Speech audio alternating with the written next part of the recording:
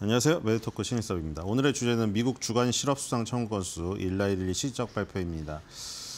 음, 터미네이터 영화가 실현될 가능성은 없다고 일론 머스크가 얘기했는데 샘 알트먼은 그럴 가능성이 있다고 얘기를 했죠. 둘이 약간 보는 견해차가 있는데 어, 어떻게 될지는 모르겠죠. 근데 뭐 대부분의 사람들은 뭐 공상과학과 같은 영화가 일어나겠느냐. 아이언맨에서도 그런 게 나오죠. 수트를 조작해가지고 그렇죠. 나쁜 놈의 소나기 안에 들어가 버리면은 그 엑스맨이었나요? 다 갑자기 우리를 공격하는. 자 그런 것들이 일어날지 안 일어날지는 모르겠으나 그런 건 확실하죠. 어쨌든 기술의 발전이 그런 것이 위험할지 안 위험할지 인간이 생각해 보는 단계까지 이르렀다. 옛날에 이런 고민했나요? 이런 고민조차 안 했죠. 왜냐하면 TV에 나오는 마징가 제트니 로봇 태권브이가 실제로 그런 것들이 등장하리라고 아무도 생각하지 않았기 때문에 저건 만화지 로봇이 움직이는 시대가 올까? 근데 지금 로봇이 움직이고 있잖아요. 그러니까 이제 그런 그런 게 화두로 지금 거론 옛날에는 그런 거를 화두로 던지면 아무도 관심이 없었습니다. 누가 그런 거에 관심을 가졌을까요? 로봇 장난감도 어, 엉망진창인 시기에 그렇죠? 그래서 지금 뭐 이 얘기를 왜 드리냐면 알고리즘 매매라는 것이 지금 확실시되고 있거든요. 지금 상황이 뭐 결국 뭐 이거 그거잖아요. 맨날 댓글에 달리는 게 어? 그 그런 거를 풀이를 할 줄 알았으면은 급락을 예측했어야지. 그 얘기가 왜 나오냐면은 급락을 한 뒤에 핑계를 찾기 때문에 그 얘기가 나올 수밖에 없는데 어쩔 수 없는 비난이죠. 받아들여야 되는. 아니 그거를 그러니까 아무리 해석해도 해석이 안 되는 것이죠. 해석이 안 되는 건 왜 해석이 안 되느냐? 인간이 안 했기 때문에. 인간은 인공지능이 아니니까. 인공지능이 로, 인공지능 로봇은 뭐 우리가 뭐 주름을 눈가 주름을 막 정말 사람처럼 하고 어, 표정 막 진짜 같이 하고 영국에서 그 나왔잖아 피부, 피부 조직 같이 정말 로봇이 막 씨룩씨룩거리고 이게 정말 구현을 해냈다 그렇다고 인, 인간의 감정을 로봇이 느낄까요? 뭣도 모르겠죠. 공상과학 영화에 나오잖아요. 인간이 막 어, 터미네이터가 이제 눈물을 흘리고 인간의 감정을 이해를 하고 어, 뭐 그럴 수도 있겠죠. 근데 지금 그렇게 인간의 감정까지 전부 이해해가지고 100% 이해해서 인간이 되는 삶은 사실 꿈꾸기가 어렵잖아요. 그러니까 뭐냐면 인공지능은 그런 감정이 없어요, 아예. 그러니까 인간은 그러잖아요. 예를 들어서 매수 버튼 누르려고 하더라도 하다가 멈칫할 수 있잖아요. 아무리 냉정한 사람이라도 자기가 매수 버튼을 정말 매수의 근거가 100%내 마음속에 확실하다고 하더라도 매수 버튼 누르기 직전에 멈칫하는 것이 인간의 심리입니다. 그렇죠? 인간의 본능 아닙니까? 매도 버튼 누를 때도 똑같죠. 이거를 지금 팔아야 된다는 확신이 모든 거를 내 연구 결과치가 100%를 가리, 가리켜서 내가 마음을 먹고 버튼을 누르려고 하더라도 손가락 끝에서 움찔거리는 게 사람의 심리라고요. 그렇죠? 이걸 여기서 실현해? 여기서 좀 더 수익을 낼 수 있지 않을까? 아니면 반대로 손실이 벌어졌을 때 여기서 손절매를 안 하고 조금 버티면 손실이 조금이라도 줄어들지 않을까? 이런 고민 인간이 하죠. 인공지능은 그런 고민 따위 안 한다는 거죠. 겉으로 눈물 흘리게 만들어봤자 눈물은 악어의 눈물인 거죠. 그냥 우리가 인공 눈물을 로봇에 탑재해가지고 나오게 만드는 거지. 그 인간이 감정을 가질 수가 있을까요? 그러니까 지금 알고리즘 매매, 인공지능 매매는 얄짤이 없다는 겁니다. 그냥 거기에 조건에서 해석 수식이 나와버리면은 그냥 실행을 옮겨버리는 거예요. 그냥. 그렇죠? 로봇에게 나쁜 뭐 예를 들어 그런 공상학처럼 로봇에게 나쁜 뇌에다가 나쁜 거를 주입해 버리면은 이 일말의 여지도 없이 인간을 다 쏴 죽여 버린다는 거예요. 그냥. 그러니까 지금 샘 알트먼이 얘기한 그게 뭐 데, 그렇게 되면 될 수도 있겠죠. 그러니까 지금 얘기를 드린 게 계속해서 해석해도 뭐 답이 안 나오는 게 인공지능이 그냥 얄짤없이 행동한 행위의 결과기 때문에 인간이 아무리 해석해서 핑계를 붙여봐야 그 해석이 안 되고 계속 비아냥만 들을 수밖에 없어요. 사후 해석이지 않느냐. 그럼 인공지능이 했으니까요. 그러니까 지금 이런 것들이 계속해서 될, 수, 될 수밖에 없습니다. 주간 실업수당 청구수. 그럼 또 이거 지금은 주가가 올랐으니까 이게 긍정적으로 평가를 하는 거죠. 그럼 그 전에 급락했던 이유가 이 주간마다 나오는 그다 변동도 심해가지고 예를 들어 지금 다 방학 시즌이고 다 휴가를 떠났는데 누가 실업수당 청구 건수를 청구하러 가겠어요. 관공서도 노는데. 그렇죠? 그래서 자연적으로 여름 휴가 때문에 줄어든 부분이 있어요. 근데 그거를 지금 가, 그것까지 감안하는 게 아니고 그냥 아 지금 일단 줄어들었으니까 주가는 반등하고 줄어들었으니까 그러면 주가가 급락할 때 실업수당 청구수가 올라가지고 어 그 실업률에 영- 영향을 미쳐가지고 아직 이 뭐 경기 침체 리세션으로 간다 뭐 이런 것 때문에 빠졌다고 해석을 했으니까 그러면 지금 주가가 반등하고 실업수당 청구수가 빠졌으니 이제 또 그 얘기를 하는 거죠. 아 실업수당 청구 건수가 올라가고 실업률이 너무 올라가고 이거 경기 침체로 가는 거 아니야? 하는 리세션의 공포 때문에 빠졌다. 이렇게 해석을 했었- 했었으니까 그걸 상쇄시켜야 되잖아요. 그러니까 이번 주에는 또 실업수당 청구수가 내려갔으니까 그게 뭐 recession의 공포가 없어졌다. recession의 공포가 무슨 주간 단위로 움직입니까? 그러니까 지금 인공지능이 행동을 그냥 알아서 일- 얄짤없이 해버렸기 때문에 우리는 해석을 사후에 할 수밖에 없는데 그게 한계가 있어요. 왜냐면 안 되니까 원래 안 되는 거예요. 원래 안 되는 걸 하고 있는 거예요 지금. 그러니까 이런 것들은 앞으로 더 심해지겠죠. 인공지능에게 맡기는 게 더 심해지니까 지금 뉴스도 인공지능 있습니다. 그렇죠? 지금 뉴스 딱 나오는 거 보고 밑에 보면은 저 글쓴이가 인공지능이에요. 챗 GPT예요. 그러니까 거기에 그 그냥 뽑아져 나오는 뉴스도 다 인공지능이고 매매도 인공지능이에요. 그러니까 인공지능이 알고리즘 짜진 대로 뉴스 내보내고 매매하고 이래버리니까 인간이 해석을 해도 사후 해석이고 그걸 해석을 해서 껴맞추려고 해도 인공지능의 행동에 대해서는 그냥 저기를 뭐 해석할 수가 없어요. 인공지능은 고민 없이 해버렸기 때문에. 이, 사, 이 우리 인간은 굉장히 막 여러 가지를 대, 대입해서 지금 고민해서 나온 결과라고 생각하잖아요.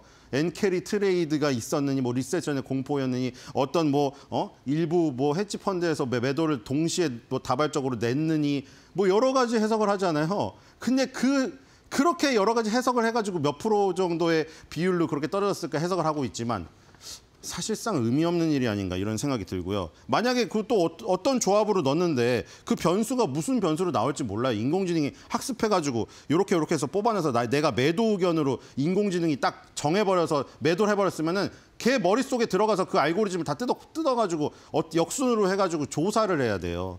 그러니까 지금 그건 오래 걸리는 일이죠. 어쨌든 간에 지금 뭐 이번 주는 뭐 시- 저기 계속 실업 수당 청구 건수는 높게 나왔어요.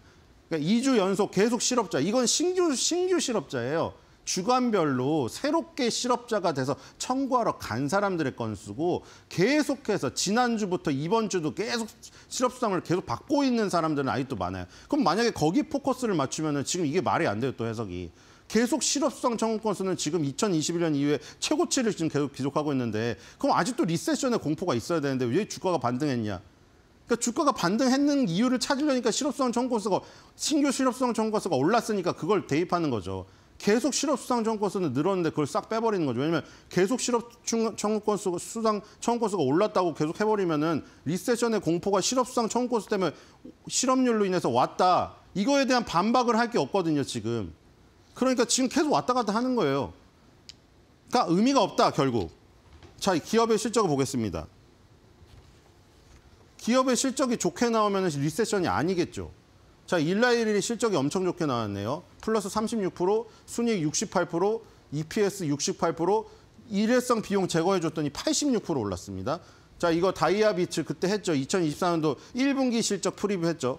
2000 프리뷰가 아니라 미리 본게 아니라 봤죠. diabetes 이게 50% 올랐습니다. 비만 치료제가 이 비만 치료제가 차지하는 비중이 거의 70%입니다. 자, 그리고 뭐 저기 그 저기도 얘기했었죠. 이 여기가 있다. neuroscience 부분이 있는데 neuroscience 부분은 마이너스 12% 나왔습니다. 지금 그 두 개만 있는데 바이오젠하고 에자이에서 나온 레, 레카네맙이라는 물질로 만든 약이랑 얘 일라일리가 만든 도나네맙이라는 물질로 만든 치매 치료제가 있는데 이거 정말 극 초반 치매만 약간 효과가 있습니다. 지금 당연히 중증 치매는 안 돼요. 그건 정복할 수 없어요 아직도. 그렇기 때문에 뭐 그런 결과도 나오겠죠. 이게 너무 오, 저게 과거 과대평가되어 있다 이게. 그리고 이게 부작용이 또 많다.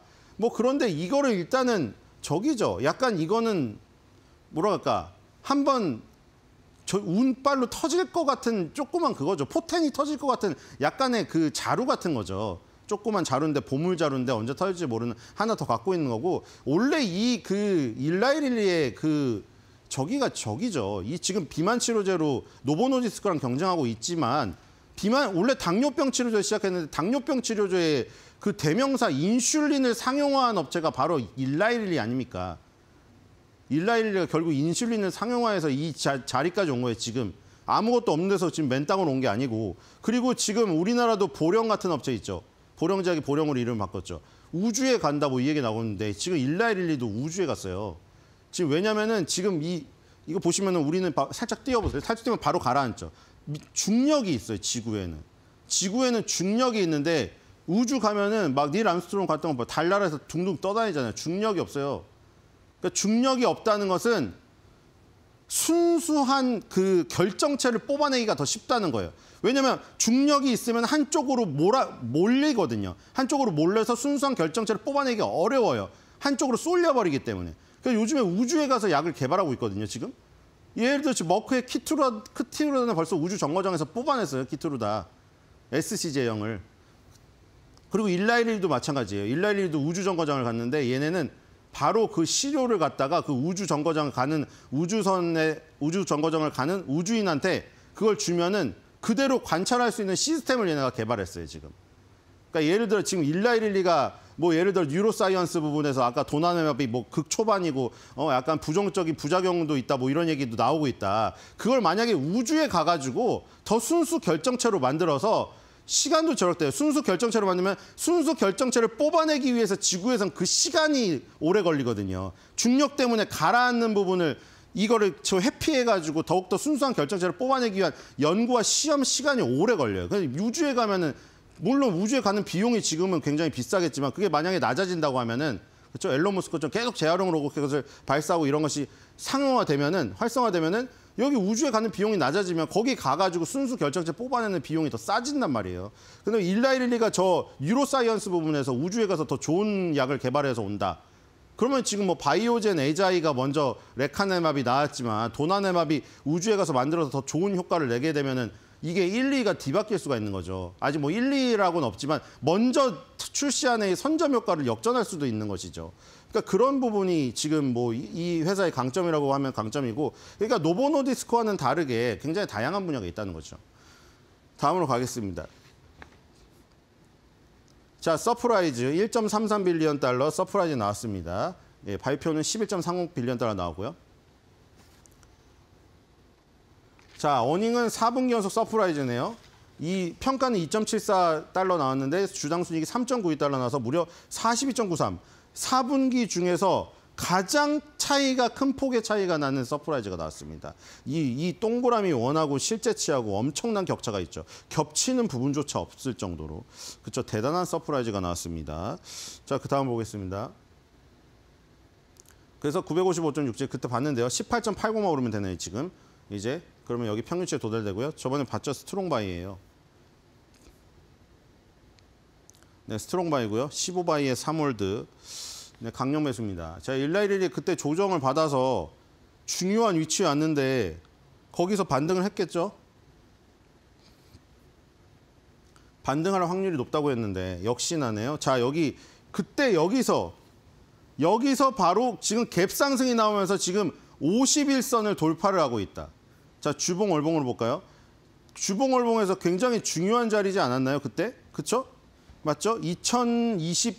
2022년도 초반부터 계속해서 50주선만 타고 오고 있었다가 정말 오랜만에 50주선하고 이격이 줄어드는 이 뭐라 그랬죠, 이게?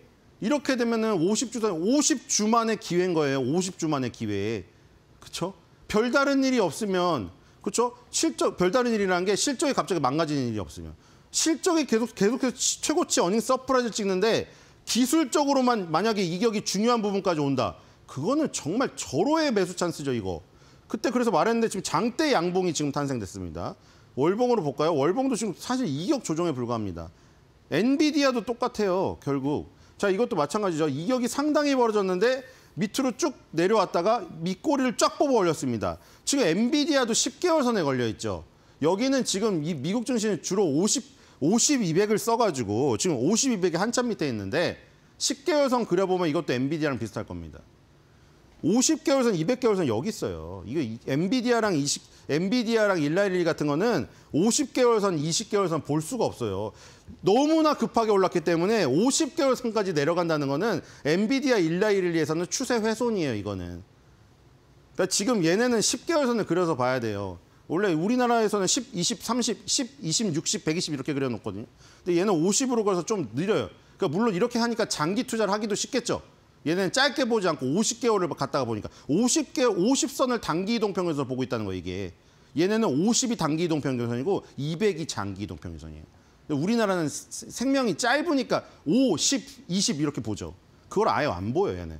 그 어쨌든 간에 지금은 너무 가파르게 오른 엔비디아나 일라이리는 우리나라 기술적 부분을 대응해, 대, 대응해서 5개월이나 10개월을 거- 그려보면 여기 밑골이랑 거의 맞아 떨어지는 확률이 높습니다. 지금 그려보시면 될 것 같아요. 자, 그래서 지금 절호의 매수 찬스가 왔기 때문에 다시 한번 또 상승할 수 있는 기회가 왔습니다. 저렇게 가파른 각도를 보이고 가더라도 중간중간에 쉬어서 각도를 조금 누여주면 은 다시 갈 확률이 높아져요. 자 오늘의 한 줄 매드평입니다. 그래서 뭐 살 살도 빼고 뭐 일론 머스크가 운동도 하고 뭐 주사도 맞고 뭐 이런다는데 자 살 뺄 때 빼더라도 좀 먹고 삽시다. 맛있으면 뭐라고요? 0 칼로리.